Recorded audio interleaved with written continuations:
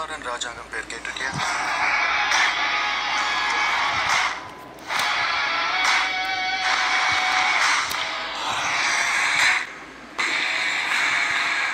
ஏரோட்ரம்னு ஏரோப்ளேன்ல போவோம்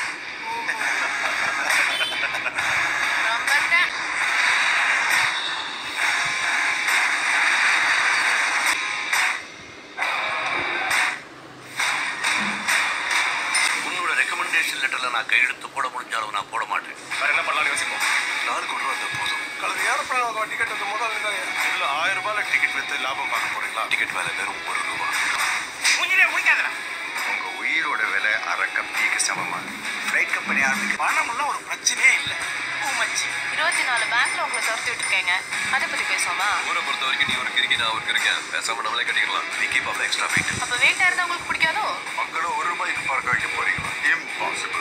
உன்னை நம்பி ஜெயிச்சிடுறோம் எங்க இருந்து டெல்லி வரைக்கும் எதிரி உங்களுக்கு என்ன முளைச்சு உன்னை கொண்டாந்து நடுத்தரில் தான் நிப்பாட்ட போறாருன்னு.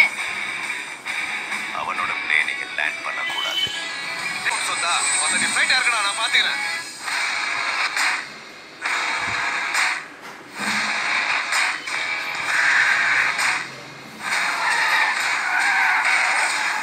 உன்னை பத்தி பத்து நிமிஷம் தான் யோசிச்சேன்.